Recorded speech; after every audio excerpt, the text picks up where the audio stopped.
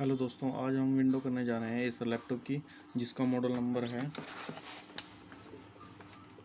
Acer Aspire three A three one four series का।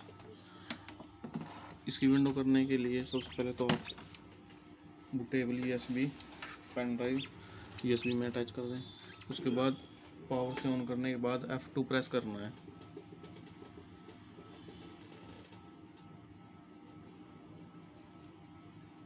F2 press करते रहना है। जैसे ही हमारा F2 प्रेस करेंगे, हमारा बूट सेक्शन जो है ओपन हो जाएगा। उसके बाद हमें जाना है बूट सेक्शन में। बूट में। बूट में जाने के बाद हमारे पास दो ऑप्शन शो कर रहे हैं। विंडो बूट डिवाइस और यू एस तो हमें इसको फ़र्स्ट पे करना है यू एस को। तो उसको करने के लिए इन एरो की को यूज़ करना है।